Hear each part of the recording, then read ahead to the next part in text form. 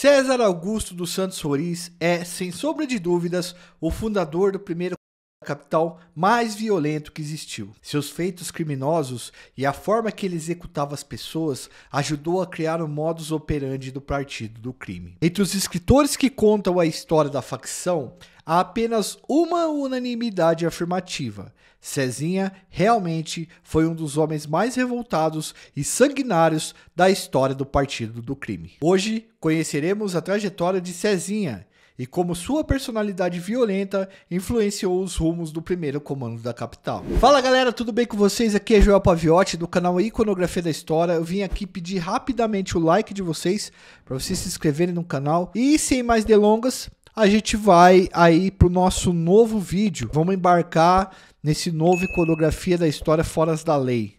Essa história é muito louca e escrever ela, confesso para vocês que chegou a me dar embrulho no estômago. Eu cheguei a desacreditar em algumas coisas que eu li. E olha que eu estudo segurança pública e facções criminosas há pelo menos 10 anos. Sem mais delongas, Edu, roda a vinheta para nós.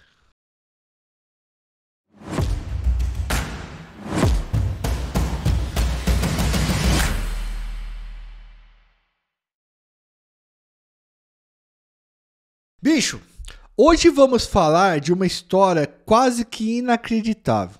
Não fosse a violência e o absurdo que é esse país em que a gente vive. A trajetória do Cezinha, ou um dos fundadores do PC, é muito louca mesmo, é uma parada extremamente violenta. Ao final desse vídeo, vocês vão entender que esse é o tipo de personagem que nunca seria reabilitado.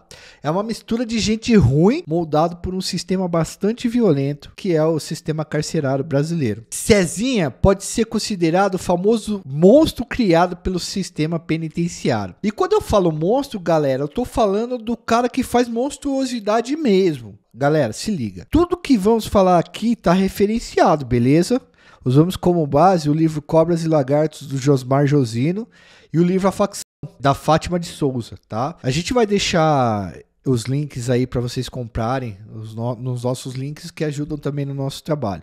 Bom, vamos aí, essa história é muito louca. Cezinha nunca foi um cara miserável. Ele era de uma família de classe média baixa e morou durante muito tempo no bairro Glicério. O bairro Glicério é um bairro na região central de São Paulo, ali perto da Sé. Inclusive, ele conheceu, Cezinha conheceu o Marcola, um dos chefes do PCC, desde moleque. Eles viveram na mesma região. O Marcola, antes de ter esse apelido, ele era chamado de Playboy, tá? A gente tem um vídeo sobre o Marcola também, vamos deixar no card para vocês. Cezinha meteu louco e foi pro crime. Segundo que apuramos, ele era um cara violento desde criança. Ele já tinha uma tendência para o mundo do crime. O Cezinha batia a carteira, mas quando ficou maior de idade, ele virou especialista em 157, que é roubo, né? Modalidade, eles chamam, os bandidos chamam de assalto mão armada. Quando ele era menor, passou por internação na Fundação Casa várias vezes e ele ficou internado na Fundação Casa com Marcola. Esses caras aí que chefiaram e formaram o primeiro da capital, galera, eles se conheciam. Como todos eles eram do estado de São Paulo, eles sempre puxavam cana, sempre puxavam cadeia junto, direto era isso. Bom, voltando no Cezinha. O Cezinha ficou maior de idade e o primeiro crime que ele assinou foi o 121, que no Código Penal é homicídio. Ele foi preso no início dos anos 90 e entrou de vez no sistema carcerário paulista. Preso e condenado, Cezinha começou a rodar várias cadeias paulistas e ficou conhecido pela massa carcerária como um louco, revoltado e violento. É isso mesmo, gente. Massa carcerária é o nome que nós que estudamos segurança pública damos pra, para os presos do sistema carcerário. Então pense, os piores homens, os homens mais violentos do estado de São Paulo consideravam o Cezinha como um cara violento para vocês terem noção quem era esse cara. E aqui para mais para frente a gente vai desenrolando algumas ideias e algumas histórias que vão levar certamente vocês a concluir que isso que os caras achavam era realmente verdade. Bom, falando de novo da trajetória do Cezinha, nos anos 90, o cara ficava preso em São Paulo e se ele desse algum trabalho, ou seja, se ficasse infringindo lei na cadeia, ele era enviado para solitária. A solitária era uma espécie de castigo,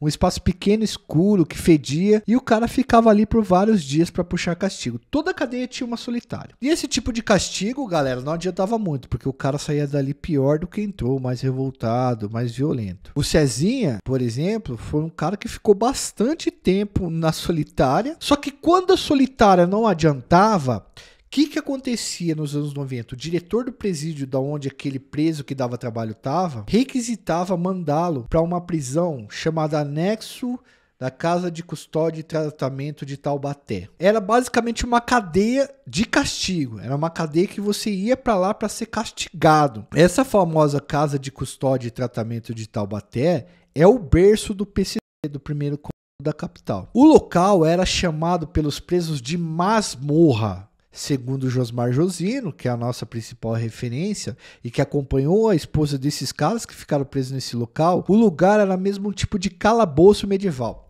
Gente, os presos apanhavam, tomavam banho de água fria na madrugada, tinham que dormir de cueca no frio, um negócio sinistro mesmo. Inclusive, a pastoral carcerária e membros de organizações dos direitos humanos tentaram fechar aquele lugar várias vezes, mas não conseguiram. E ali em Taubaté só iam, só ficavam ali os presos mais cabreiros, os caras que precisavam de castigo pesado, que o Estado considerava que eram pessoas que nunca iam se reabilitar, que existia zero possibilidade disso. Geralmente, galera, um preso que dava trabalho ficava naquele presídio para pagar castigo castigo durante 6 ou 12 meses. Então matei o cara numa cadeia comum. Eu vou para lá e fico 6 a 12 meses sofrendo lá. Quando o Cezinha foi para lá, para Taubaté, pela primeira vez, ele pegou um castigo de 7 anos. É isso mesmo, ele pegou um castigo lá de 7 anos. O castigo mais louco da história do sistema. O Cezinha pegou uma pena de 1991 a 1998 ali na masmorra. Aí vocês devem estar se perguntando assim, né, galera? Pô, Joel, o que esse cara fez para pegar sete anos de castigo num lugar chamado masmorra, num calabouço medieval? Mano, vai vendo. E é aqui que a gente começa a falar da parte violenta da vida desse cara, tá? E pode dar alguns gatilhos em algumas pessoas aqui, a gente já vai avisar. Mas antes de entrar nessa parte, por favor,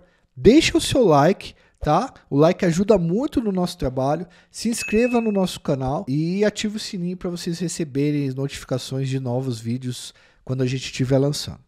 Beleza? Show de bola, vamos lá então. O Cezinha descobriu que estava com HIV. Naquela época, você descobrir que estava com HIV era tipo uma condenação de morte. Então, cara, não tendo mais nada a perder, o Cezinha começou a virar um cara muito irritado. Por exemplo, em 1991, na penitenciária de Avaré 1, ele matou dois detentos, bebeu o sangue dos caras e trocou o coração dos caras de corpo. É isso que vocês ouviram, mano. É isso mesmo, tá? Eu até vou falar o lugar que tá essa informação. Tá no livro Cobras e Lagartos de Josmar Josino, primeira edição da editora Objetiva, na página 27, para vocês verem que o que eu tô falando não é conversa mole, é uma loucura. Aliás, o PC ficou famoso lá no seu início por matar e cortar a cabeça dos seus inimigos. Quem levou essa prática para dentro do comando foi o Cezinha. Teve um dia que ele brigou com um detento em uma fila, foi para dentro da cela, buscou um Golias. Golias é uma faca improvisada que eles fazem dentro da prisão. E em posse dessa arma, ele derrubou o adversário no chão, na porrada. Quando o cara caiu, ele foi cortando o pescoço do maluco ainda vivo, até arrancar a cabeça, tá? Arrancar a cabeça de pessoas é um lance simbólico muito brutal. Isso fez com que Cezinha fosse temido demais no sistema carcerário paulista. O cara tá numa cadeia de castigo, a pior cadeia de São Paulo arrancando cabeça dos outros. Imagina que fita. Dita essas paradas aí, vamos ver o desenvolvimento do Cezinha com a fundação do Partido do Crime. Se liga nessa história, pessoal. Em 1993, ainda em Taubaté, Cezinha andava muito revoltado. Ele estava puxando cadeia com amigos de longa data, como Sombra, Marcola, Geleião, outros membros que seriam importantes na fundação do partido, a gente vai falar daqui a pouco. Inclusive, nós temos vídeo falando de todos eles e eu vou pedir para o Eduardo, nosso editor, colocar aqui no card para vocês. Então, pessoal, a revolta do Cezinha era com um evento conhecido como o Massacre do Carandiru, um evento que ele nunca engoliu. O Massacre do Carandiru ocorreu no presídio do Carandiru em 1992. Nós temos um vídeo contando isso em detalhes, mais profundamente, assim.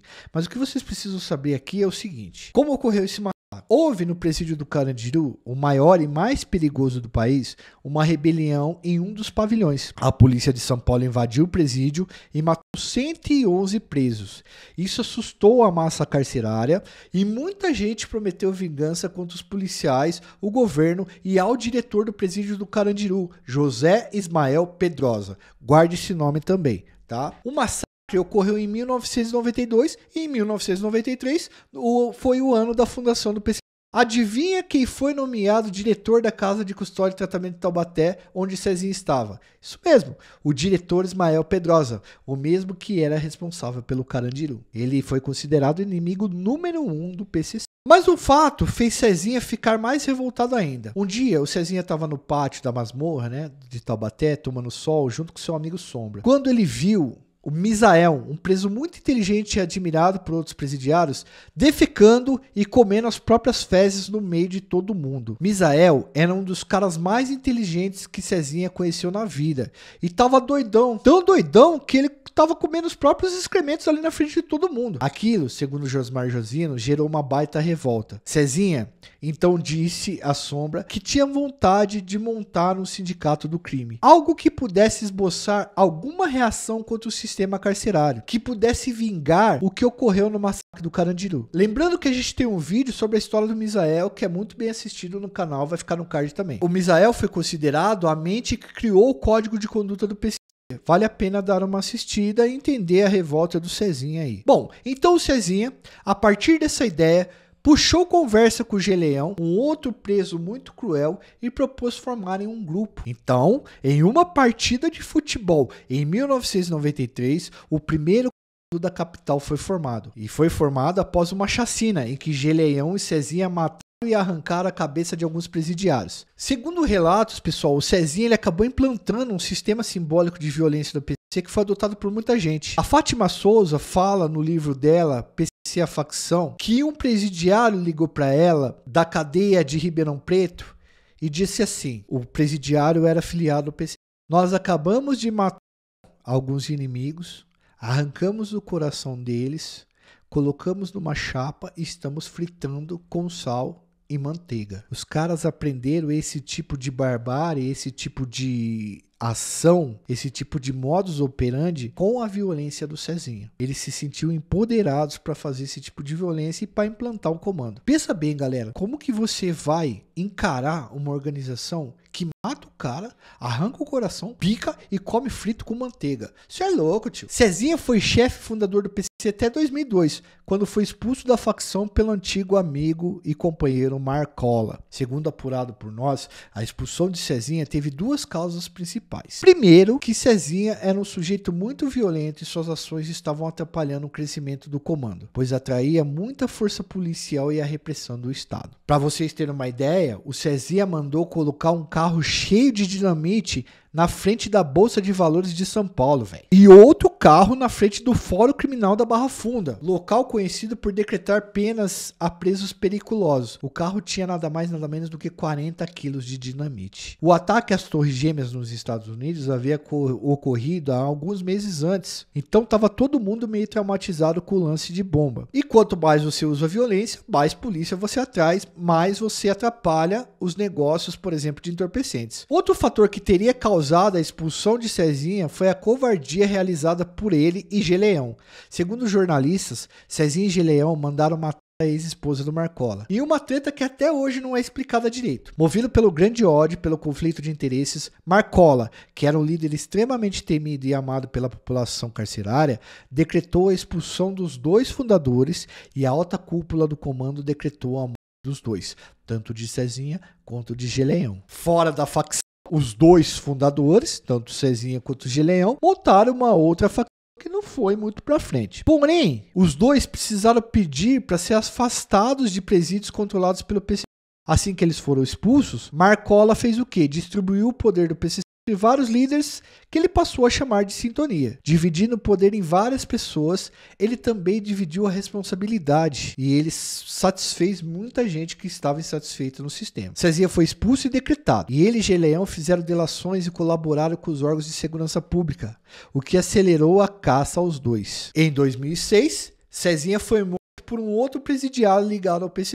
Galera, a polícia desconfia que o cara que matou o Cezinha é um lagarto. Lagarto é um cara que assume crime dos outros, pois Cezinha era um cara violento e sabia brigar. E ele tomou mais de 50 estocadas, é isso mesmo, mais de 50. É quase impossível que uma pessoa só pudesse fazer isso ainda mais com um cara cobra criada como Cezinha. Mas enfim. Geleão, por sua vez, morreu de Covid 16 anos depois, mas teve que viver isolado pelo resto de sua vida na cadeia. Essa é uma história real, galera, que aconteceu no Brasil e dentro do sistema carcerário. Às vezes parece até inacreditável, né, esse tipo de fita, mas na verdade é apenas uma pequena porcentagem do que os jornalistas corajosos, a polícia e o Ministério Público conseguiram trazer eu espero que vocês tenham gostado muito do nosso vídeo de hoje.